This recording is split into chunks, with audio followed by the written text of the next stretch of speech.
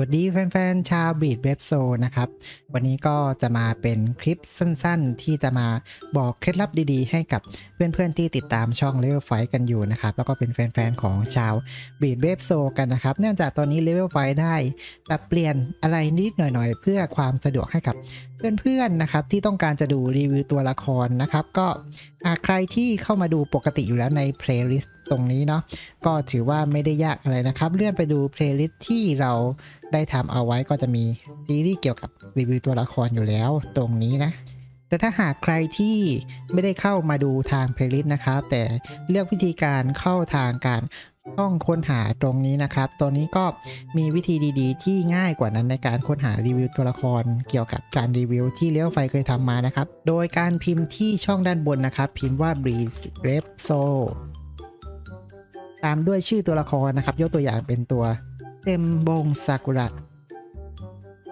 ตัวที่เราได้เพิ่งทำการรีวิวไปนั่นเองนะครับ แล้วก็อาจจะให้ชัวร์ขึ้นมาอีกนิดนึงก็ลองเว้นว่างอีกทีหนึ่งแล้วก็พิมพ์ชื่อช่องของเราเข้าไปนะครับ หลังจากนั้นก็กดค้นหาได้เลย ก็จะมีชื่อของ Level 5เนี่ยติดอันดับบนๆอยู่นะครับเนี่ยไม่ว่าจะเป็นตัวละครเซมบงเอง หรือว่าจะเป็นตัวอิชิดะอุโนฮานะหรือคาสวาเองเนี่ยก็มีหลายตัวที่เราได้ เปลี่ยนชื่อเป็นภาษาไทยเรียบร้อยแล้วนะครับ หากใครที่ไม่รู้ว่าตัวละครตัวไหนเนี่ยชื่อมันพิมพ์ยังไง เป็นภาษาไทยเนี่ยก็สามารถเข้าไปดูในเกมของเราได้นะครับ ถ้าหากใคร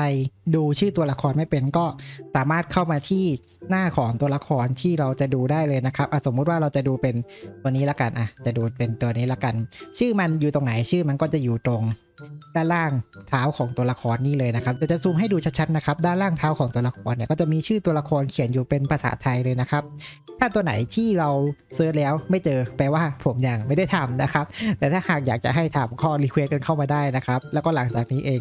Level Five ก็จะกลับมาทำคลิปรีวิวแบบต่อเนื่องให้เพื่อนๆได้ชมกันอยู่บ่อย ๆ เลยนะครับ ตรงนี้ก็ฝาก กันไว้ด้วยนะครับ เพื่อที่จะสะดวกในการค้นหาการดูรีวิวตัวละครที่เพื่อนๆ อยากจะดูนะครับ แบบว่าเฮ้ยเราเปิดได้ตัวนี้มาเราไม่รู้ว่ามันเก่งหรือเปล่าหรือ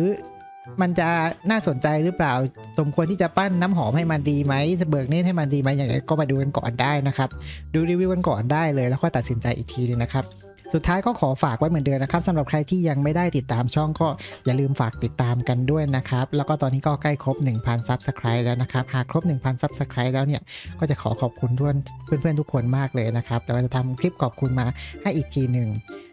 ในคลิปหน้าเดี๋ยวเราก็จะมาคลิปทำคลิปเพิ่มเติมเกี่ยวกับบีดเว็บโซกันอย่างต่อเนื่องนะครับสำหรับวันนี้เดี๋ยวก็ต้องขอตัวลาไปก่อนไว้พบกันใหม่ในคลิปหน้านะครับบ๊ายบายทุกคน